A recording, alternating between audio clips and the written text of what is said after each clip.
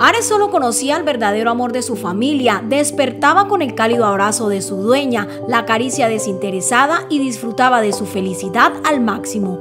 No hubo golpes, no pasó necesidades. Ella fue acogida al igual que Zeus y Polo, dos perros que acompañan el hogar de la familia Chacón Callejas.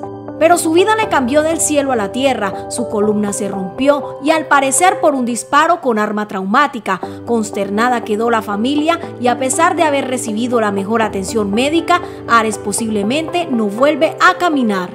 La perra está muy mal, la perra no va a volver a caminar, se arrastra como una foca, eh, sufre mucho, era una perra muy juguetona, muy eh, jugaba con todos los niños, inclusive aquí de, la misma cuadra.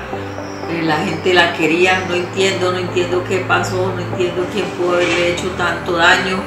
Eh, estamos pues, el, el médico veterinario ya dijo que no había posibilidades de que volviera a caminar el amor le sigue sobrando, pero no alcanza para que pueda correr, seguir disfrutando por ella misma de la vida. No hay responsables de tan cruel actuar y a tan solo dos años de vida, Ares y su familia esperan la justicia divina. Y pues esperamos que la comunidad del centro Ecopetrol, que la comunidad aquí de la Vera tome conciencia que los animales no son para maltratarlos, que los animales son para amarlos porque ellos también nos brindan amor, nos brindan cuidado.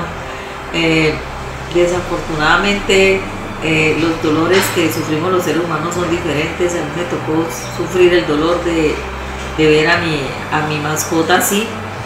Por ahora seguirá su tratamiento, se adaptará a su nueva forma de vivir y espera que su historia no se repita y que la indolencia de quienes atentaron contra su vida no acabe con la de otros perrunos.